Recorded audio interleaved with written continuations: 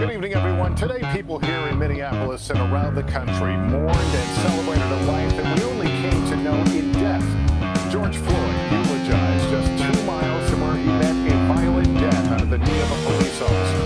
As his family publicly remembered him here, thousands once again marched to his name in cities far away, echoing the now familiar demands for police reforms. The service itself stirring as speakers declined social injustice in America.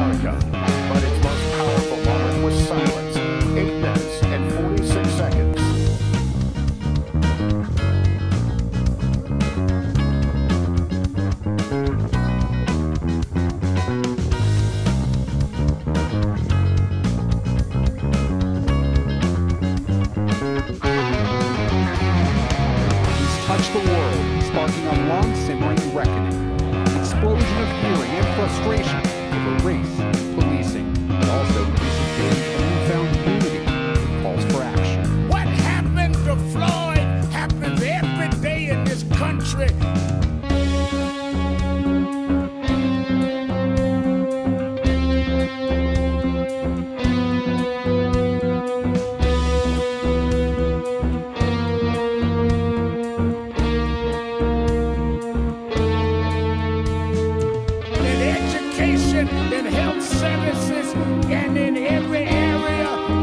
American life, it's time for us to